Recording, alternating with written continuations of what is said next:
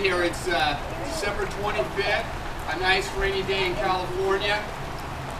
Water's 48 degrees right now here. We've got some ice cubes floating on the surface. Do we care? No, we don't care. We're going in. We're going in.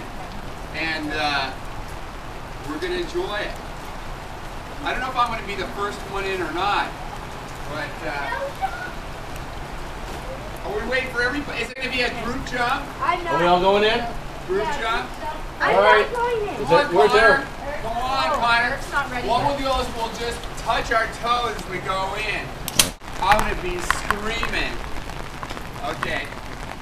All right. First one in. Is that hot tub hot?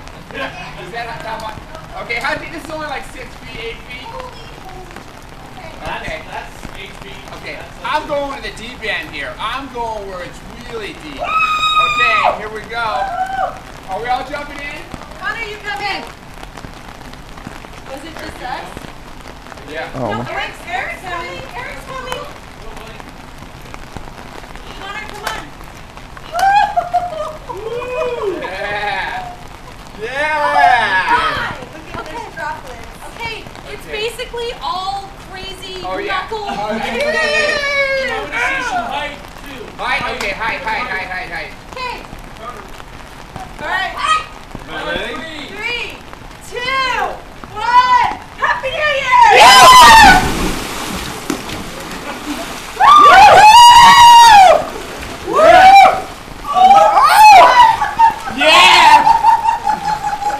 Yeah! I don't.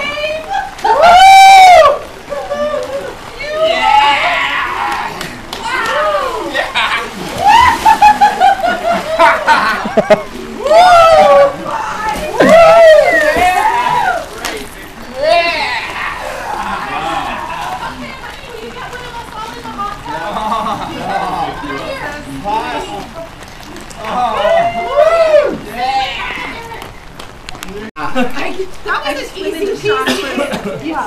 Another one just like that. Everybody turn around. One, two, three. Yeah!